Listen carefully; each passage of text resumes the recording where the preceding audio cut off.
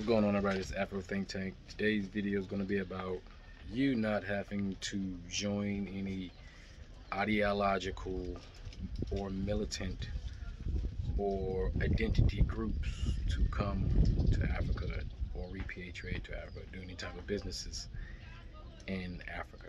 You don't have to do that. You know, and there's no shade to the groups, you know, that are forming, no shade to the groups that know that are that have been well established you know no shade to none of them. If you feel like you need to join a group you need that that group i guess unity or camaraderie or safety to come and do anything over here you know or to feel like you you need to, to identify with as an african yourself or to try to become closer to your ancestors or your people. If you feel like you need to join a group go ahead join a group what I'm saying is you don't need to join a group. And there are benefits to just being yourself and going and doing things as yourself. Like, you know, you can go as Tracy. You can go as Gloria. You can go as Dee Dee. You know, you can go as Teresa. You can go as all these, all the, you know, you can go as yourself. You know, you can go as yourself you don't have to go with a group because sometimes what happens when you go with a group is that group may have an ideology or a thought process that is not conducive with other groups, right? And that may cause friction, you know, it cause a lot of friction. So you could end instead the journey that you were trying to go on with, you know, trying to reconnect yourself, you can end up disconnecting yourself at the same time without even knowing it. You know what I'm saying? Think of think of it as like a, a string, right? You know, think of a string and you take a, take a pair of scissors and you cut that string. One side is Africa, the African people on the continent. The other side is the African diaspora, right? You know, two strings made of the exact same material, but they're separated because the scissors have been cut, right? Right now, what we're doing, we're trying to reconnect that string. So we're tying knots, right? We're tying knots. But what happened when that string was was was cut fibers they went all over the place right? So when you cut a string if you look at you know any material you cut there's going to be fibers everywhere right? So that means there's missing pieces in that connection. And those pieces is um, sometimes necessary to reconnect. So what we do we take those two pieces of string and we tie them in a knot right? We tie them in a knot. So we reconnect them but it's a rough reconnection. It's not the original reconnection it's a rough reconnection right?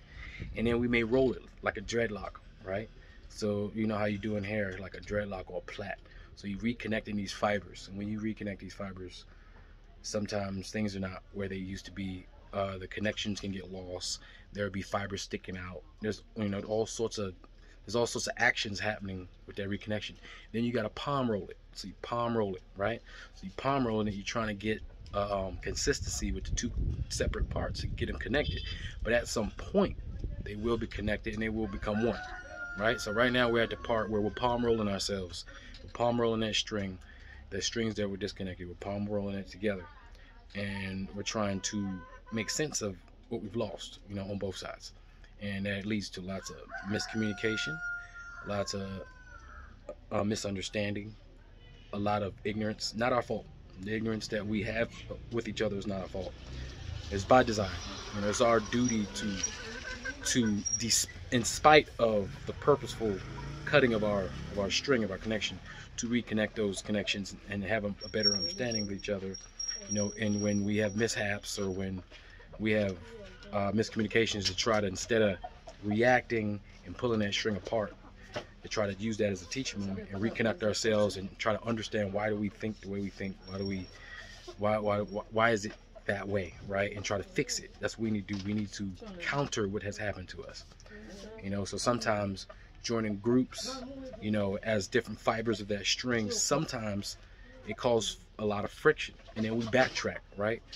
So we backtrack and then the knot's not tight and the knot breaks and it's not strong. But in order to make it strong, each individual fiber is going to have to do its job to connect to another fiber that hasn't been connected to in a long time, right?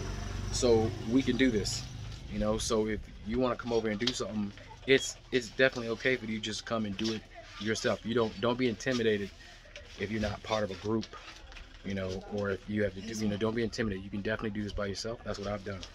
I decided not to join any type of group. There's plenty of groups out there, but I've decided not to join any of them. I don't. I didn't want to be a part of a group. I didn't want to be a part of their rules, their regulations, their doctrines. I didn't want to be connected to, you know, what they want. Even if I agree with them, sometimes there's a lot of groups out there I agree with, but not 100%, right? And sometimes that one thing, that one thing is enough. I don't want to be associated with it, you know, at all. You know, and that's enough for me to just say, you know, it'd be safe for me to do solo dolo, just Afro Think Tank. All right, Afro Think Tank. I just think as an individual, and then I, you know, share that with other people who like to think.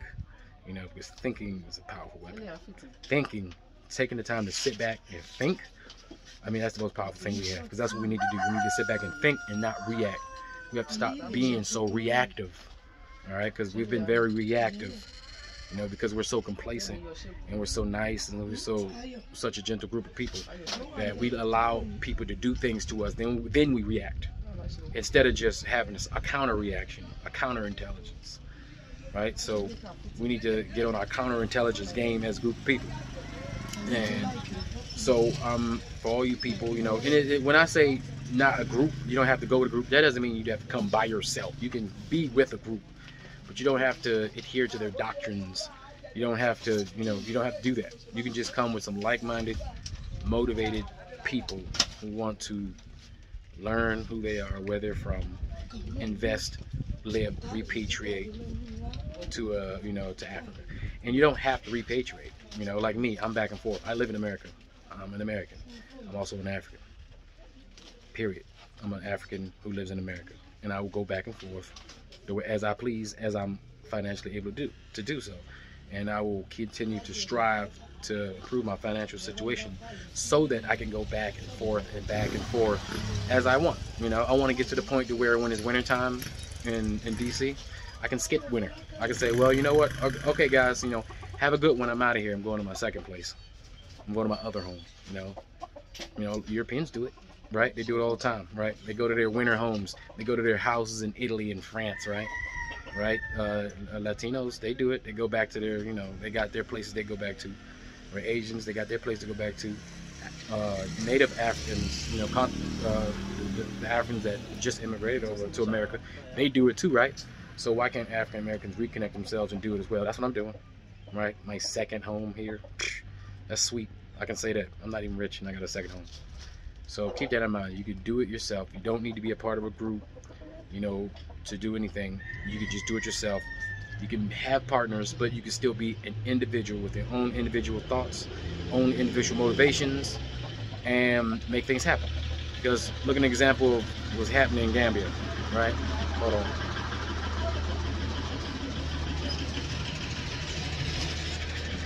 Look what's happening in Gambia. They have all these groups, and now people are being bunched up with an, with other individuals who've done dubious things. So now everybody's looking the same, you know, and that's something I wouldn't want to be a part of. I wouldn't want to be a part of a group where one person does something dubious, and because that person does it, I'm marked with it, right? So I got to walk around, and there's everything that person did. I, am getting blamed for it simply because I'm associated with that person or that group. So that's what I'm trying to avoid and I think it'd be better if we did that because, like like I said, many raindrops, you know, can can create a lake, and that's what we need to do: create a lake with our many individual raindrops and our many individual impacts, whether big or small. You know, whether you're coming here and you're building, you know, you're actually building a well for a small village, or if you come in here and you have millions of dollars and you're building a giant manufacturing plant that that hires thousands of people whatever you do, you know, if you do it individually, you know, it's an impact is an impact, no matter how big or small. It's gonna contribute. So that's all I want to say. Don't need anybody to do what you want to do. You you have everything you need, which is yourself. Okay. So think about that. All right, this is Afro Think Tank. Learn something, teach something. I'm out.